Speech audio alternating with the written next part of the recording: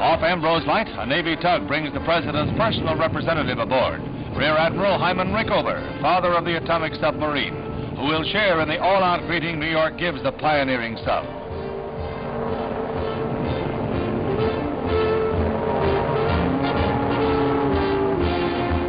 It's a rainy day, but that's no deterrent to the harbor welcome in traditional style. The salute of hundreds of vessels, Coast Guard cutters, fireboats, launches, tugs, and small craft, escorting the sleek sub upriver from the Narrows along the Manhattan waterfront to the cheers and admiration of the city.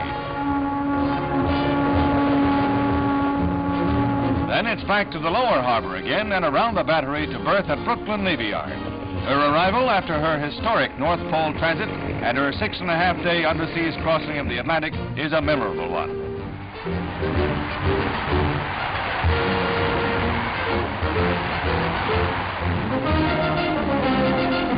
special occasion made all the happier for the crew by the presence at dockside of their families. For 60 Navy wives, it's the first reunion with their far traveling husbands since April.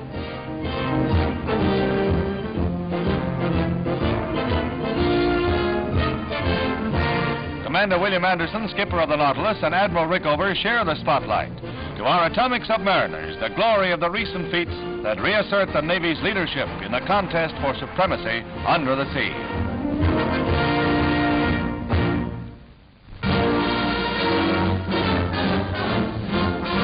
The Navy reveals a major new advance in anti-submarine warfare. The new hunter-killer team of destroyer and helicopter. The copter carries new homing torpedoes that will guide themselves to a target. In this test aboard the destroyer Mitscher off the Rhode Island coast, the copter is the French-designed Alouette, a turbine engine job that burns the same diesel fuel as the destroyer. Formerly, when a destroyer's long-range radar or sonar picked up a target, the ship had to close to depth charge range. Now, the copter does the killing as far away as the horizon, reducing the sea chase by long hours.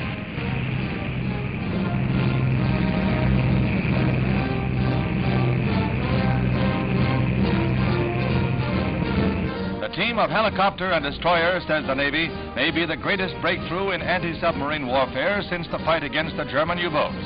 A long stride towards meeting the menace of Russia's huge underseas fleet.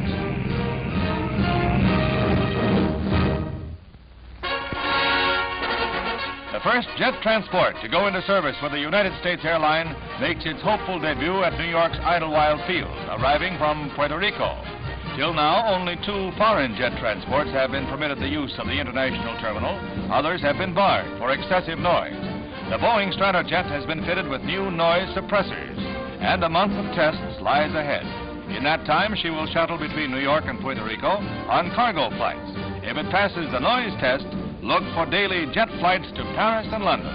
Seven hours across the Atlantic.